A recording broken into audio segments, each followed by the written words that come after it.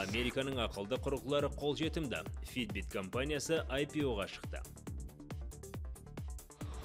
Microsoft пен гольф ойнау ақылды білезіктерге арналған жаңарту. Интернет бетіндегі қауіп, кең таралған компьютерлік індеттерді шолу. Армысыздар, бұл Planet бағдарламасының кезекті шығарылымы. Әдеттегідей жаңа технологиялар, концепттер мен гаджеттер жайлы. Хабарда IPO-дан кейінгі Fitbit компаниясының дамуы жайлы ақпардан бастаймыз. Сенім сыйлаған IPO Fitbit жақында жауапты кезеңнен сүрінбей өтіп, енді акцияларын биржада сәтті саудалауда. Fitbit электроника құрастырушы компания нарықтағы үлесі 32 пайыз. Атап өту керек Қытайдың жас құрастырушылары мен Apple секілді алпауыт өкшесін басып келеді. Қалай болғанда да Нью-Йорк биржасындағы сауда Fitbit үшін сәтті өтті. Негізінен акцияларды 13-14 доллардан сату көзделген, бірақ ойлана келе баға өзгеріп 17 долларға дейін көтерілді. Ал сауда басталған сәтте тіпті бір акция 20 долларға бағаланды.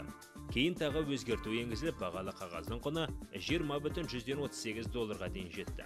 Күн соңында бұл көрсеткіш 28,62 доллар шамасында тұрақтады. Бағалы қағаз нарығына шыққан Fitbit 732 миллион доллар тартып, нарықтық капитализацияны алғашқы сауда күні 4,3 миллиард долларға жеткізе алды.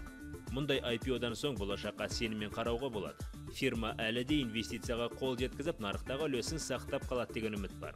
Егер осы уақытта компания топ менеджерлерінің қолына фитнес білезіктер киілген болса, құрылға Fitbit басшылығының көтеріңкі көңіл күйін белгілеп отыратын еді.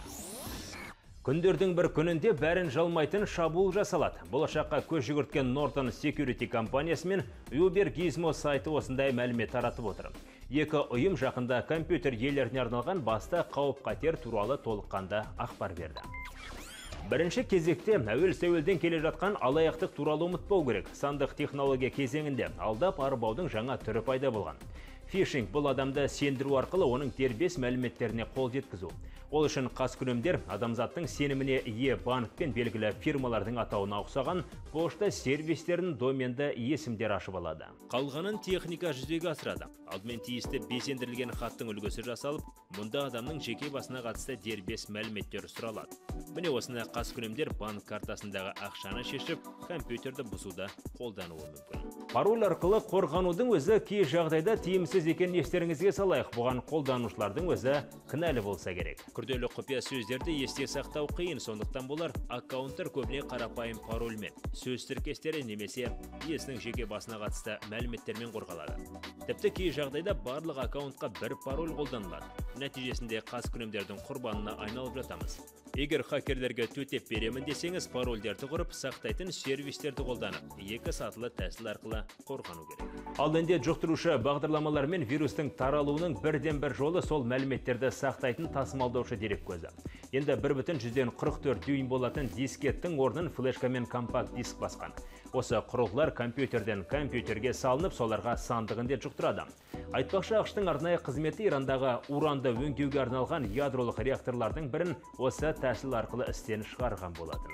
Одан басқа браузерлерде шабуылға ұшырап жатады. Осы бағдарламалар арқылы біз интернетке шығамыз. Хакерлерде сол арқылы компьютердегі қатты дискіге жол табады. Браузерлерді жасайтын компаниялар қауіпсіздік деңгейін арттырумен келеді. Ал біз бағдарламаны жаңартып отыруды ұмытпауымыз керек. Тағы не істеуге болады? Вирусқа қарсы бағдарламалық қамтуды үнемі жаңартып, қандай да бір мәліметке қатысты өтініш түсіп жатса, оны назар салып оқу.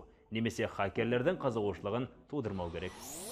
Microsoft пен гольф ойнау. Redmond корпорациясы элиталы ойынды сүйер қауымды қуантпақ. Өткен жылдың соңында Microsoft компаниясы Band деп аталатын фитнес білезігін таныстырған еді. Ол бірден танылды, себебі бағасы арзан. Енді міне оның мүмкіндігін арттыратын уақыт жеткен сыңайлы. Ол үшін Microsoft тағы бір компания Taylor Made пен күш біріктірді. Фирма гольфқа арналған құрал жабдықтар шығарады. Енді Band білезігі смартфонмен қосылып, қанша соққа жасалғанын санайды. Және нысанаға дейінгі ара қашықтықты анықтап береді. Ол үшін басқа смарт бендтарда кездесе бермейтін GPS мәліметтер қолданылады. Қосымша мен білесік тағы бір Applet Health бен әрекеттеседі. Енді жасыл алаңқайда жүріп гольф ойнап қайтқан адам бір кеште қанша калория жағылғанын көре алады. Әзірге осы. Planet бағдарламасының әрбір шығарылымын 24 KZ арнасының сайтынан табасыз. Келесі жүздескенше онлайнда бір болайық.